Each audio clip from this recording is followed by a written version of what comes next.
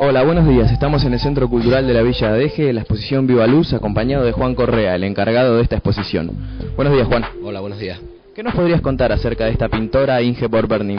Bueno, esta pintora es muy interesante. Ella nace en Hamburgo, ya pintando unos 30 años y ella estudió Bellas Artes en la Universidad de Bélgica y la tenemos aquí residiendo en Canarias, desde, bueno, en Adeje, desde hace unos 15 años aproximadamente. Y puntualmente esta exposición, ¿qué nos podrías comentar? La exposición es una exposición muy interesante, muy viva, con mucho colorido, mucha luz. Eh, utiliza técnica mixta, como podemos ver, eh, aunando lo que es el, acrílico con óleo. Eh, también ella hace reminiscencias al cuento, a la literatura, a, la fábula, pues escribió bastantes cuentos en Hamburgo durante muchos años.